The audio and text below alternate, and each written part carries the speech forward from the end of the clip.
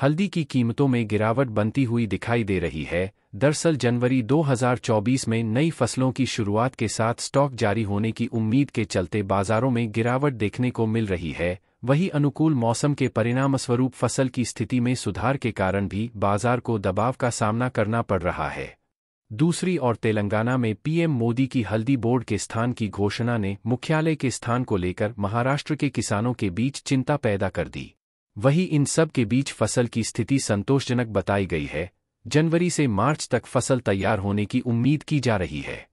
खरीदारी गतिविधि के मौजूदा स्तर और घटती सप्लाई से मूल्य स्थिरता कायम रहने की उम्मीद है। विकसित और उभरते दोनों देशों में बढ़ती मांग के कारण निर्यात में 25 परसेंट की वृद्धि के साथ हल्दी के निर्यात में हल्की तेज़ी देखने को मिल रही है। हालाँकि, हल्दी की बुआई में 20 से 25 परसेंट की गिरावट की उम्मीद जताई जा रही है जिसके चलते विशेष रूप से महाराष्ट्र, तमिलनाडु, आंध्र प्रदेश और तेलंगाना जैसे क्षेत्रों में किसानों का हल्दी की तरफ़ मोह भंग होता दिखाई दे रहा है।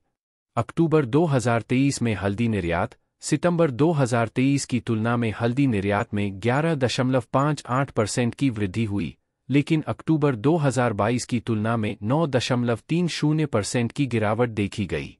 निजामाबाद के प्रमुख हाजिर बाज़ार में हल्दी की कीमतों में फ़िलहाल गिरावट देखने को मिल रही है। Bureau report, market, Times TV.